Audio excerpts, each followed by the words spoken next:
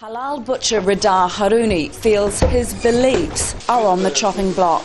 And he says his customers are worried about a proposed ban on the religious slaughter of animals that haven't been stunned beforehand. It's not just Muslims, but the Jewish community as well. You don't feel at home anymore. It feels like we're being punished. Dutch slaughterhouses that want to continue traditional halal and kosher practices will have to prove their process of slitting the animal's throat when it hasn't been stunned is humane.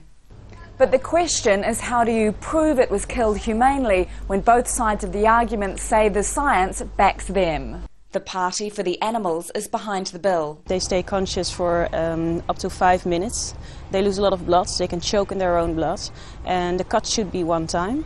But uh, research shows that with uh, kosher slaughter it takes on average 3.5 times, and with halal 5.5 times.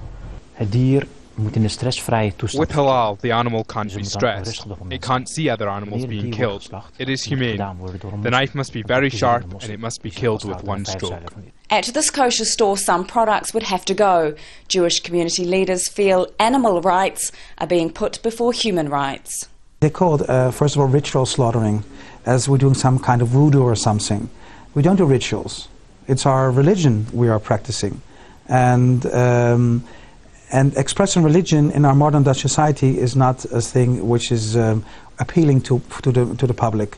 But if the ban is imposed, there's a modern solution buying imported kosher and halal meat. More expensive, but it would be the only alternative other than vegetarianism or giving up hundreds of years of religious tradition.